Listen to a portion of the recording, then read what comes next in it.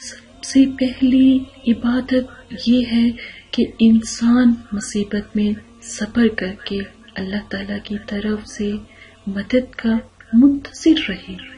حضرت علی یاد الہی سے چشمہ بصیرت میں روشنی اور دل میں نور پیدا ہوتا ہے۔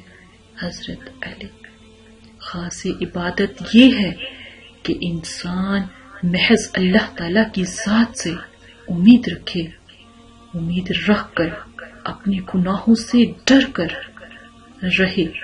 حضرت علی، وعدہ کرو تو اس کے خلاف نہ کرو۔ غصہ آئے تو زبان سے بےحودہ بات نہ نکالو۔ حضرت علی، مومن اپنے آپ کو ایوب معیوب خیال کرتے ہیں۔ لغزش سے ڈرتے ہیں، لڑائی جھگڑے سے ڈرتے ہیں۔ آخرت کے محبت اور مشتاق اور عطایت میں ہر وقت لگے رہتے ہیں، کوشاں رہتے ہیں۔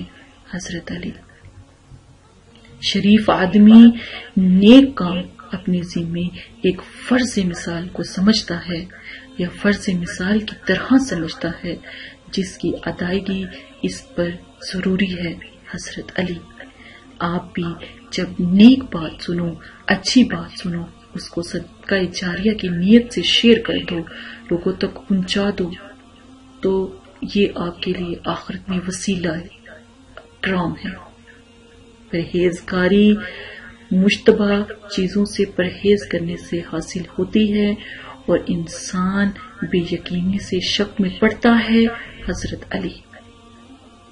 غنی وہ ہے جو کنایت کرے، باعزت رہے، جو اللہ کی عطایت میں مصروف ہو، حضرت علی۔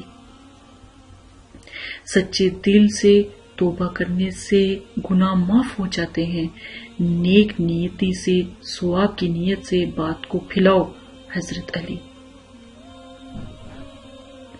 سچائی زبان کی امانت اور ایمان کا حلیہ۔ حضرة علي